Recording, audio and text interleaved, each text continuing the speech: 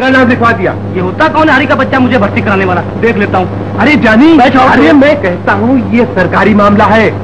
जल्दी न कर नहीं किसी और मुसीबत में फंस जाएगा। हाँ? मुसीबत में? हाँ हाँ। मैं कहता हूँ पुजारी। पुजारी वापस? ले। अरे बड़ा पहुँचा हुआ है। ज़रूर कोई अच्छी सलाह देगा। तो यार मैं पूछ ही लूँगा पूछ ही ले। जा। हाँ? जा जा।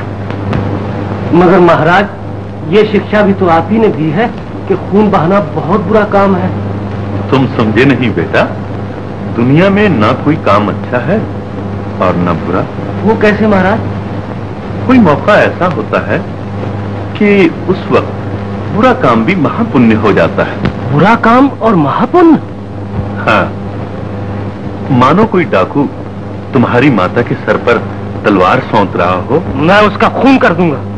मगर खून बहाना तो तुम बुरा काम समझते हो। ये तो मैं माँ को बचाने के लिए करूँगा। शायद तुझे मालूम नहीं जानी कि तेरी एक और भी माँ है। और माँ?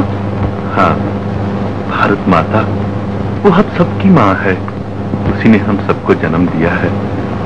जानते हो जानी कि उस पर आज क्या मुसीबत खड़ी है? दुश्मन खूनी हथियार लिए उसके सीने पर निशाना बांधे खड़ा है। वो जो हम सबकी माँ है। जो जन्म जन्म से हम पर ममता के फूल बरसा रही है आज दुश्मन उस पर आग और तबाही बरसा रहा है। बोल जानी ऐसे दुष्ट का खून पाप है कि पुण्य? बस बस पुजारी बाबा मैं समझ गया। अब मुझे आशीर्वाद दीजिए।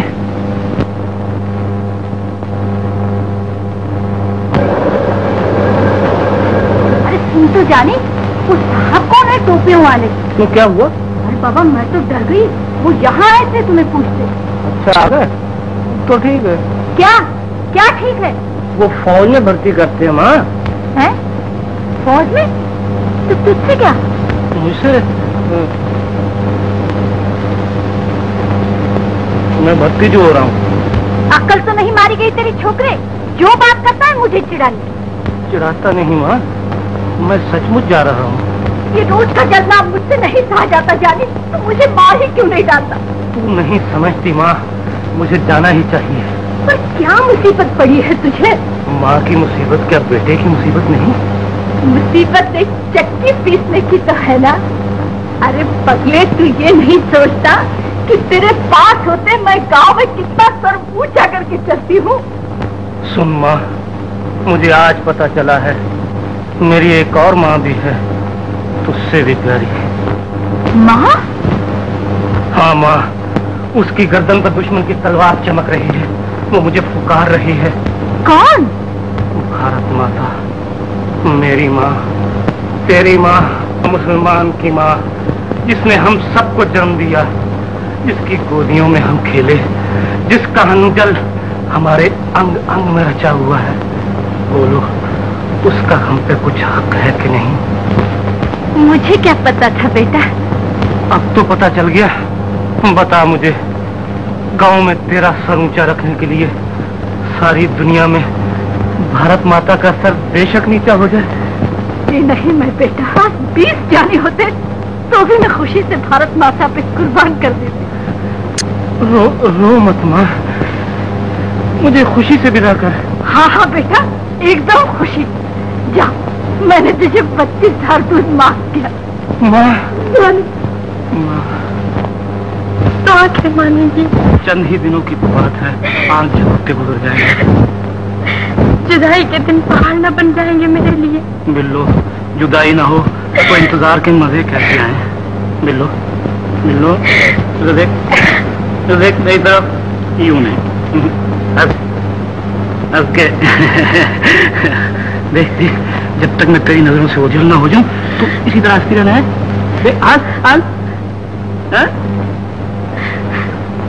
हंस हंस हैं? अच्छा हंसती रहूँगी। जानी मैं तुम्हारा इंतज़ार करूँगी। दिलो जान से तुम्हारा इंतज़ार। मैं आऊँगा। ज़रूर।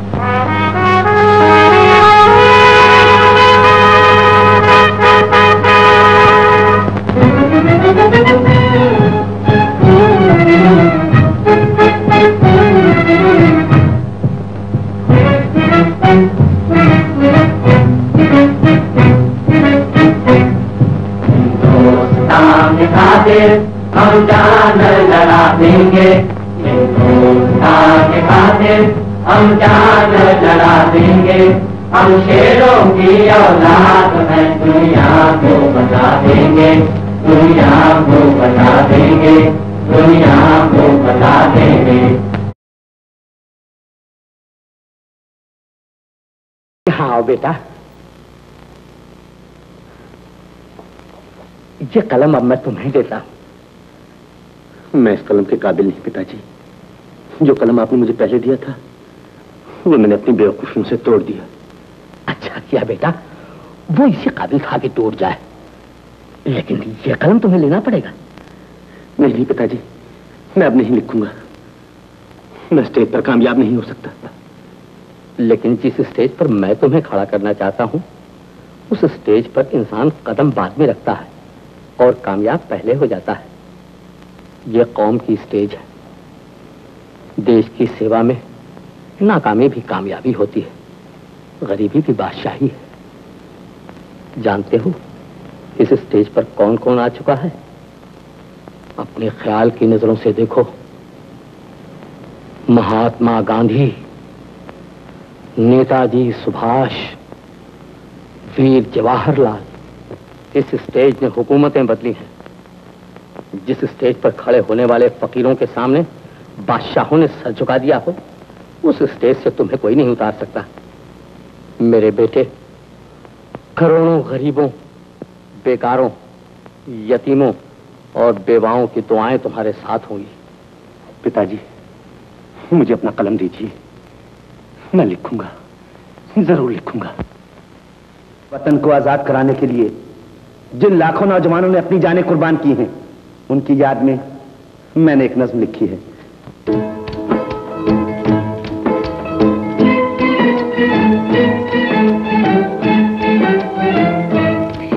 शहीदो तुमको मेरा सलाम शहीदो तुमको मेरा सलाम। तुमको मेरा सलाम मेरा सलाम शहीद दो तुमको मेरा सलाम शहीद दो तुमको मेरा सलाम।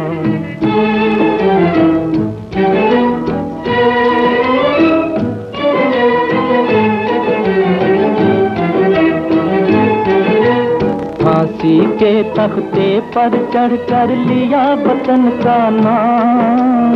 फांसी के तख्ते पर चढ़ कर लिया वतन का नाम। मरने वालों ने मर के दिया जीने का पैगाम। शहीदो तुमको मेरा सलाम, शहीदो तुमको मेरा सलाम। तुमको मेरा सलाम मेरा सलाम शहीदो तुमको मेरा सलाम शहीदो तुमको मेरा सलाम।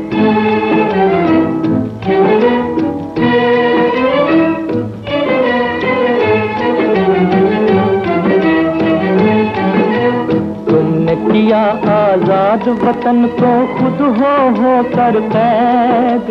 तुमने किया आज़ाद, वतन को खुद हो हो कर कैद। नई ज़िंदगी कौम को दी, खुद पिया मौत का जाम। मौत का जाम, शहीदो तुमको मेरा सलाम। शहीदो तुमको मेरा सलाम। तुमको मेरा सलाम मेरा सलाम। शहीदो तुमको मेरा सलाम शहीदो तुमको मेरा सलाम।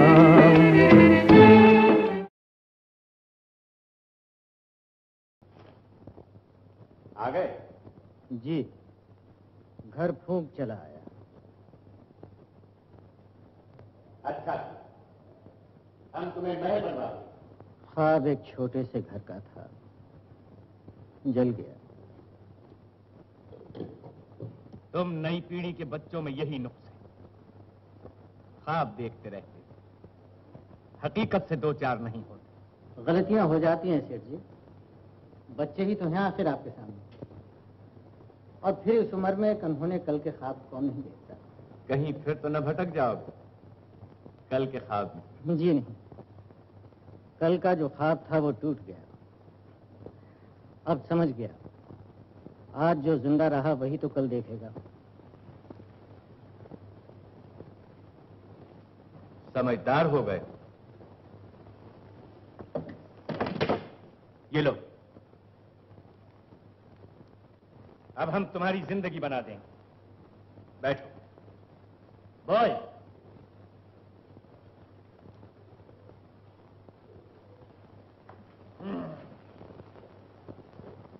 आओ। आज कौन सी तारीख है? पंद्रह अगस्त। लो। आज भारत आज़ाद हुआ था। और आज हमारे भारत की नई ज़िंदगी शुरू होती है। आज भारत बट गया था। कट गया था।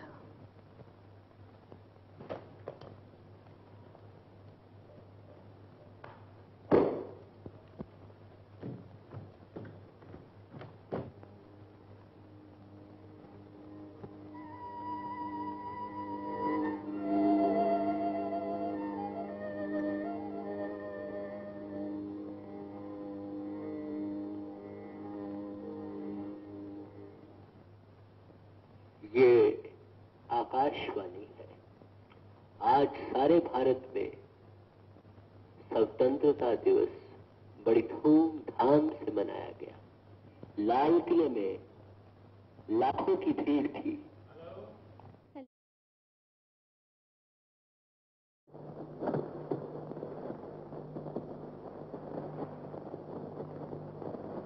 ये जो रेल की लाइन जा रही है ना इसे उखाड़ना है। क्यों? उधर से जो गाड़ी आएगी उसे उड़ा देना है। क्या? ये लो इसमें सब सामान है? मेरा तुम्हारा दिमाग तो ठीक है ना? जल्दी करो नहीं तो शूट कर तुम कर दोगी? करो। गाड़ी गिरवा कर इतने आदमी खत्म करवा सकती हो तो मैं कौन हूँ? खड़ी क्या देख रही करो शूट कर भी चलो बेला छोड़ दो।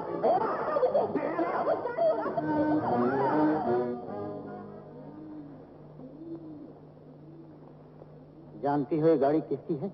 गवर्नमेंट की। गवर्नमेंट कौन है। हम खुद। ये गाड़ी हमारी है। हमारी जायदाद। जानती हो एक गाड़ी की कीमत क्या होती है?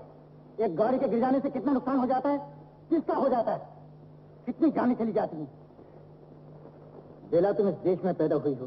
तुमने रत्ती भर भी इंसानियत नहीं? सेठ जी ने कहा था। सेठ।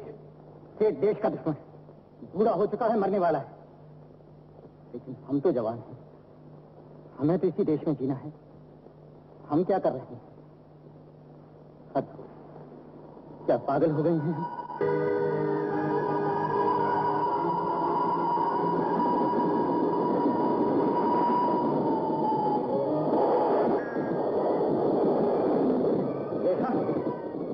कलकत्ता मेल था। सेठ जी का मज़ाक हो जाता। और तीन चार सौ जिंदगियाँ चली जाती। जानती हो तीन चार सौ जिंदगियों के क्या माने होते कई सुहागनों के सुहाग, कई माओ के ख्वाब कई बच्चों के माँ बाप कहीं इस गाड़ी में तुम्हारा अपना कोई होता तो? तुम्हारे पिताजी, तुम्हारी बहन। या इस दुनिया में तुम्हारा कोई नहीं सेठ के अलावा?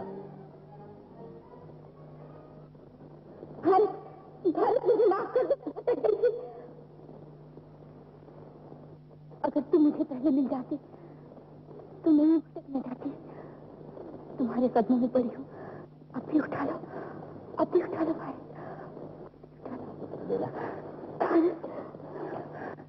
ये ज़िंदगी छोड़ दो। अब भी कुछ नहीं बिगड़ा। घर वापस लौट जाओ। हम्म। मैं आऊँगा।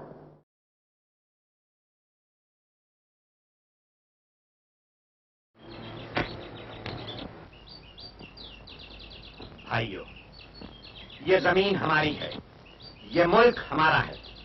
हमारे पास थोड़े से हथियार हैं। लेकिन मुल्क के असली हथियार तुम हो। हमारा हर बच्चा सिपाही है और हर माँ शेरनी।